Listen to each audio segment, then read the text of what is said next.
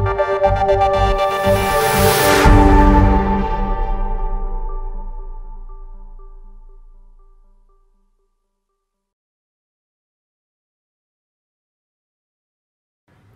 everyone. Today in our series of Doc Plexus KOL interviews, we have with us Dr. Shashank Shah, who is an eminent laparoscopic bariatric surgeon from Pune. He currently holds the position of director at Laparo Obeso Center and has more than 35,000 successful surgeries in his account. He is the pioneer of in-lap sleeve gastrectomy in Asia and an authority in laparoscopic gastric bypass and scarless single incision surgery. Dr. Shah is the first ever surgeon to receive prestigious Vivian Fonseca Scholar Award for Research in Diabetes from American Diabetes Association in June this year. Dr. Shah also has his name in Limca Book of Records for doing 45 hernia operations in 10 hours. Thank you, Dr. Shah, for this interview. Nowadays, obesity and diabetes are most important killer diseases in India. What are other comorbidities associated with it and what are the indications for surgeries in obese patients? Obesity and diabetes are growing and they go hand in hand. A disease known as diabesity. Unfortunately, India is the world capital of diabetes and obesity gives rise to diseases of almost every system in the body. It can be lungs, heart, kidneys, it induces hypertension, sleep apnea, osteoarthritis, it can give rise to diabetes, high cholesterol, high triglyceride. It is also known to worsen kidney disease or induce kidney disease and heart disease. In short, it reduces longevity of a person, gives rise to chronic life threatening conditions and destroys the overall quality of life and productivity of a person in his life. Anyone who is severely obese in a sense whose BMI is more than 30 to 32 kilogram per meter square or anyone who whose abnormal percentage of fat gives rise to diseases which can become life threatening like diabetes, dyslipidemia, hypertension or something which does not respond to standard medical treatment probably would be a candidate to receive surgical treatment which is in short a metabolic surgical treatment. So, what is the basic difference between laparoscopic gastric bypass and laparoscopic sleeve gastrectomy as a definitive surgical procedure for morbid obesity, and which one is superior and why? Actually, laparoscopic gastric bypass was known to be a gold standard for surgery, bariatric surgery for years together. In gastric bypass, a stomach is converted into a small pouch and an intestinal loop is connected in such a way that the upper part of stomach as well as the upper part of small intestine does not come in direct contact with food and that is why it is called a gastric bypass. Part of the intestine is not in contact. It induces restriction in the form of redu reducing the amount of food consumed and it also induces malabsorption to some extent in which fat gets malabsorbed. However, with fat malabsorption there is some micronutrient malabsorption. There is need for more nutritional checkup in the form of proteins, vitamins, B12, calcium, magnesium. On the other hand, sleeve gastrectomy is a procedure which started predominantly becoming very popular in Asia that because it only divides the stomach vertically and removes the curvature of the stomach which secretes a hunger secreting hormone called ghrelin. Ghrelin also has diabetogenic as well as obesogenic properties. So, reduction in ghrelin gives rise to anti-obesity and anti-diabetic action. Gastric bypass has a history of more than 40 years whereas sleeve has a history of last 20 25 years. Both the procedures are appropriate and they have distinctly different indications. Anyone who has longer duration of sorry anyone who has longer duration of diabetes or is on insulin or has a hernia or a reflux does better with gastric bypass. Super obese, those who are vegetarians, maybe extremes of ages unmarried girls probably sleeve gastrectomy is a better option. Dr. Shah, you awarded the most prestigious honor by American Diabetes Association for your research titled Gastric Bypass versus Medical or Lifestyle Care for Type 2 Diabetes in South Asians, the COSMID randomized trials. Can you please elaborate some findings of this trial for us? Yes, actually I am happy to share that this is the first study which was which received the Vivian Fonseca Scholar Award. As we all know that gastric bypass is a procedure in, done for weight loss. It was seen over years that these patients diabetes improves or resolves with weight loss. It was slowly understood that the action which is responsible for improvement and remission in diabetes is not only weight loss, but in addition there are some weight independent hormonal mechanisms responsible for it. We know that diabetes is a major challenge in India and majority of the patients fall below a BMI of 32. That means majority of them would not qualify for standard bariatric surgery and many of them because of progression of diabetes would not even live to achieve that BMI. Hence first ever we try to see whether gastric bypass has a strong anti-diabetic action which can treat these cohort of patients.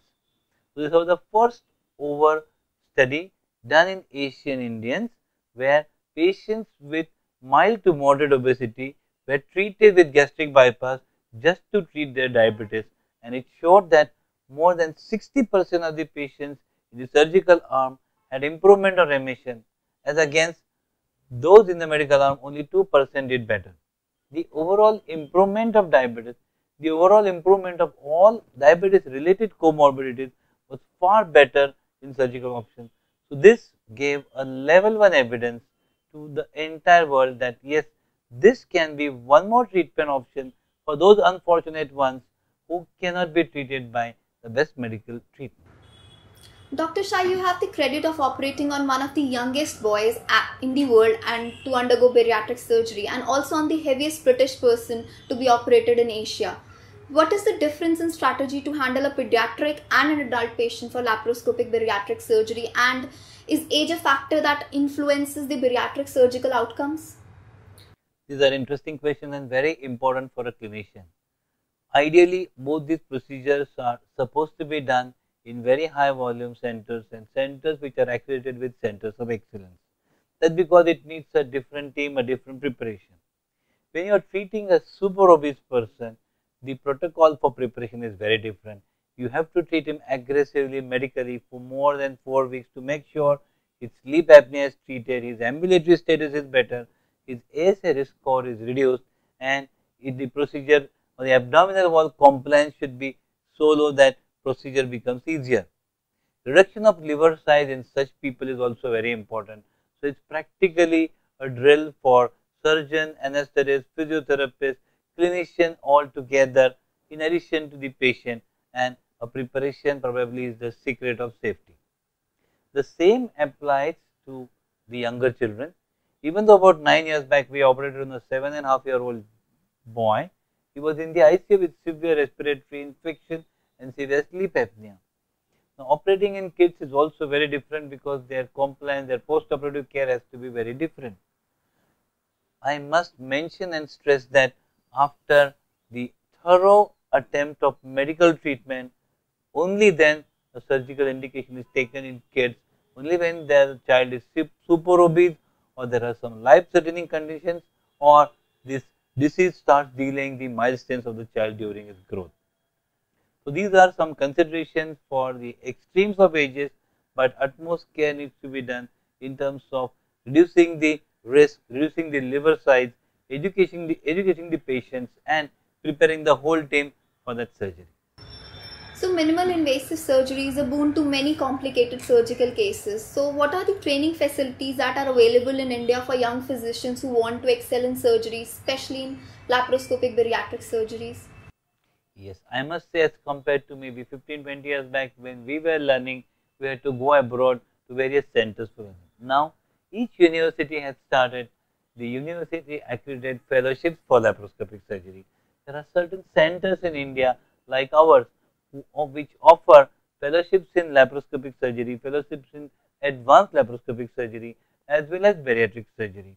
I think the organizations like IAGS, AMASI, maybe Association of Surgeons India also have incorporated these into their curriculum and laparoscopy is now a part of training for every surgeon in this basic MS surgery course.